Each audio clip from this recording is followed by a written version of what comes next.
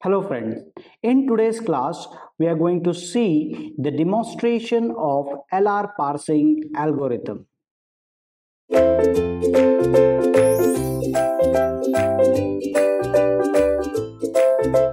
Welcome back here and here in this section we are learning this uh, uh, LR parsing algorithm. So I already explained you this algorithm but uh, here now I will demonstrate you this uh, the actual working of it.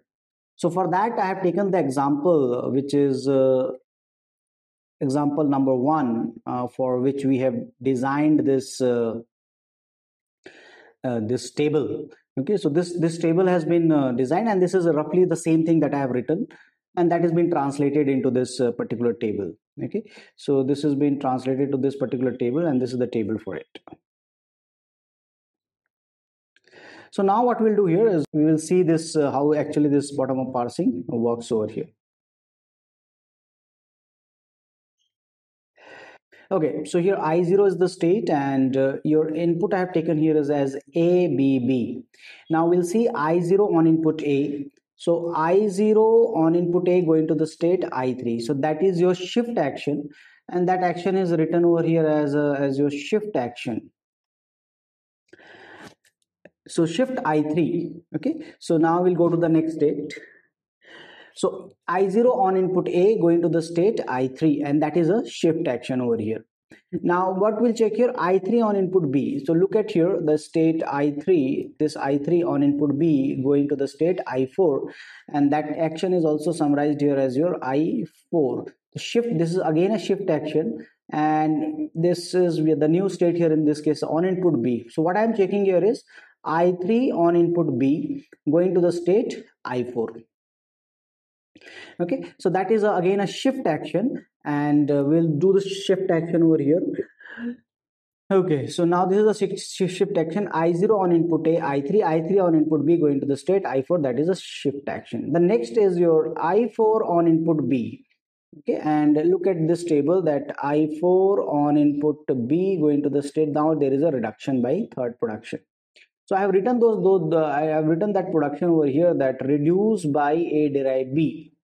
What we need to do here is there's a three-step process that we need to pop symbols. How many symbols we have to pop? Pop two symbols. Why? Because we have written here as A derive B and length of B is equal to 1. So if there is a 1, then we'll pop 2 symbol. If there is a 2, then we'll pop 4 symbols. So pop 2 symbol out of it. So now this I4 and B has been popped and my new state is exposed is I3. Then the next step is what? Second step, three step process. So popping two, two times of symbol, then push A. Now push capital A onto this. So I3 on input A, push A and this is A. And the third step is what? Go to new state. So where you have to go? You have to go from i3 on input capital a. I3 on a. Look at here i3 on a i3 on input capital a going to the state i6 so the new state will be i6 so this is i3 on input a i6 okay? And uh, fine we are done with this this step. So this is a three step reduction. Uh, many book you will find this is doing in a single uh, step but i have written here explicitly to describe you that exactly what the three step is. Now i6 on input b okay? I6 on input b look at here i6 on input b it is reduced by second production and that production i have written over here a derive small a capital a so that is the second production how many symbol we need to pop here we'll pop four symbol out of it so one, two, three, four. Up to A, we need to pop. Pop four symbol.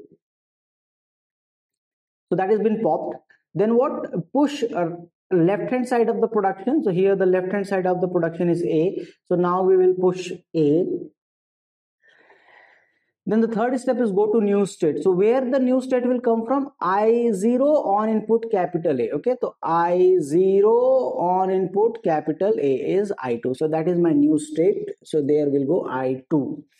Okay, now so that is the three step process now what we'll check here i2 on input b since i have not moved anything till now only two shift actions. So that two times symbols has been taken into the stack. But now uh, and then we had the reduced state only okay? So now this one i2 on input b. So i2 on input b going to the state i4 so that is shift i4 that is what it is written over here. So now i2 on input b going to the state i4 and now we have done shift. So only dollar symbol is left i4 is what? It's a reduced state. You can also see that i4 the next input symbol is dollar. So dollar what we have to do? Reduce by third production. So a derive b and here a derive b is this. And we'll pop again two symbol.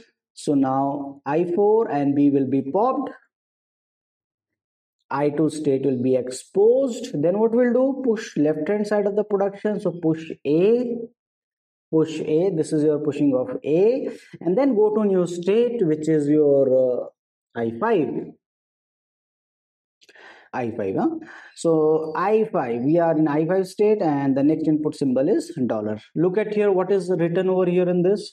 So i5 on input dollar is reduced by one production. So what is that one production? S derived double a. How many symbol we need to pop four symbols right? Why? Because double a consists of double a. The length of this string is what? Equal to 2 so we need to pop four symbols. So pop four symbols. What will be popped out? 5 a i2 a. Four symbol will be popped out. I0 will be exposed. Push left hand side of the production. So we'll push s. Okay? And uh, s. And then what we need to do? Go to new state so go to new state here. I1 the next action will be i1 and i1 is a special category of the state. That is the augmented one added one. I1 on input dollar. Look at here i1 on input dollar. What is here is accept. Okay so that's that is how this uh, bottom up parser works. Now here the parser here the bottom up parser will this uh, lr0 parser will stop. Here lr0 parser will stop.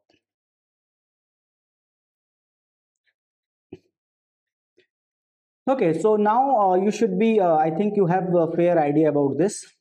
This process this algorithm will not change. Only thing that will be keep on changing is this table. Right now this table is your lr0 table and table will change. Otherwise the course of action the push and pop still uh, popping is a three step process. I am repeating it again again again. Pop twice as many symbols on the right hand side push left hand side and then go to new state. Okay so you should be very clear with this idea of uh, this pop operation. Pushing is going to new state so every time i0 like on input a going to the state i3 you can refer the table i0 on input a going to the state i3 every time there is a push the symbol will be on the stack. A will be on the stack. So i hope you got a fair understanding of this uh, lr parsing algorithm. And uh, uh, the be careful with uh, pop operation. Push is simple. Okay so that's all for this session. Thank you